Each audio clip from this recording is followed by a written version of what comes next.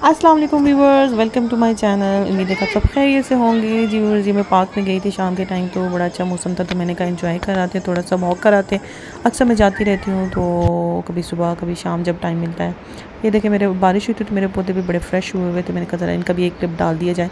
दिन का टाइम यहाँ पर इस्लामाबाद का मौसम ऐसा था, धूप थी और अचानक बारिश शुरू हो गई थी शाम के टाइम ये देखें जी आ, मेरा ओवन था आ, मेरे हस्बैंड ने मुल्तान से मुझे पार्सल करवाया ये मेरे जहेज़ का आ, ओवन है।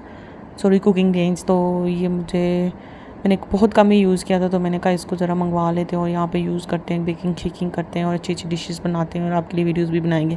फिर मैंने हमने कहा इसकी डीप क्लीनिंग करते हैं मैंने और मेरे हस्बैंड ने इसकी सफ़ाई स्टार्ट की। तो ये जो स्प्रे पड़ा ना ये जंग को दूर करता है तो इसमें थोड़ा थोड़ा ऐसे लगा हुआ था तो इस स्प्रे के साथ मेरे हस्बैंड ने इसे अच्छे से वो मुझे करके दिया तो हमने उसको स्पंज से किया तो वो साफ़ हो गया, अंदर से भी हमने इसे चमका चमकू दिया।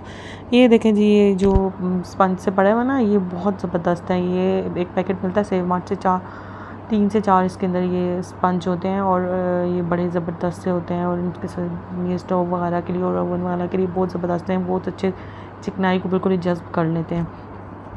तो ये हमने ओवन अच्छे से चमका दिया था, इसके अंदर से भी मैंने सारी चीज़ें जो है, चूल्हे वगैरह की उतार के तो मैंने जालियाँ वाला भी सारा ना वो मैंने धोने के लिए, किचन में सुखाने के लिए रखी थी। इसके साथ ही मेरा सारा ये साफ़ हुआ है तो ये ओवन चमक उठा हमारा।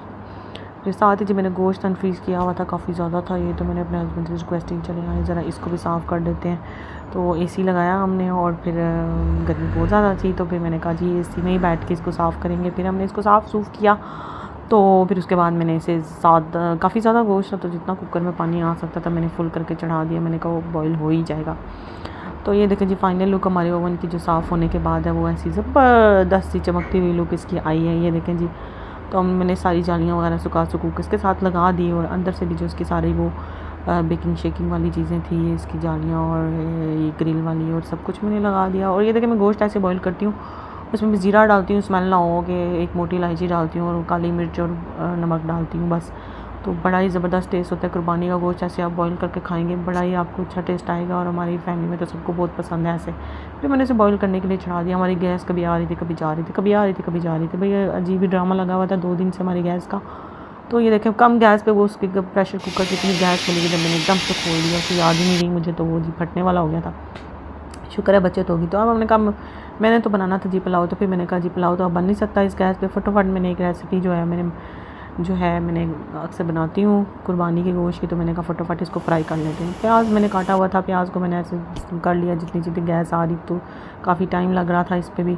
तो मैंने कहा कहीं चली ही ना जाए, जल्दी जल्दी बस जैसे हो सकता था। ये देखे मैंने प्याज डाला, टमाटर डाला और अदरक लहसुन का पेस्ट और मसाले ऐड किए बीच में और अच्छे से इनको भुना और फिर मैंने इसमें जी अच्छे से भून के फिर मैंने तीन ग्रीन मिर्च पर इसमें ऐड कर दी और साथ ही फिर मैंने जी इसमें ग्रीन चिली डाल दी साबित। इसका बड़ा अच्छा टेस्ट हो जाता है तो। तो ये फिर मैंने साथ ही गोश्त ऐड कर दिया और फिर मैंने इस गोश्त को अच्छे से भुना दस मिनट तक।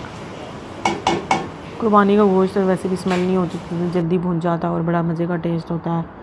बड़ा ही ज़बरदस्त टेस्ट होता है कुर्बानी का गोश्त जो होता है। बाकी बाज़ार के गोश्त से तो बहुत ही मतलब इसका टेस्ट जो होता है वैसा हो ही नहीं सकता, उसका लेवल इसका लेवल ही कोई और है। तो ये देखिए जी हमारा गोश्त ये अच्छे से फ्राई हो गया था हमारा ऑलमोस्ट तैयार हो गया था। ये मैंने कुछ गोश्त टिक्कों के लिए निकाला था तो ये मैंने इसको कुकिंग रेंज में टिक्के बनाए थे बड़े ज़बरदस्त बनते ज़रूर ट्राई किए साथ ही बच्चों शेयर करूँ साथ ही मैंने मैंगो कस्टर्ड बना दिया मैंगो चैली तो मैंने कड़ी की मैंगो वो बना दी के लिए कस्टर्ड वाला कस्टर्ड था बना के लिए जेली कस्टर्ड की बना के होती है वाला। और मैंगो तो ये मैंने साथ ही बना दी वो काट के आगे पीछे हो गए हैं। तो ये क्लिप्स आगे पीछे आज की वीडियो होप्स मेरी आज की वीडियो ज़रूर मेरे चैनल को सब्सक्राइब कीजिए शेयर कीजिएगा लाइक कीजिएगा।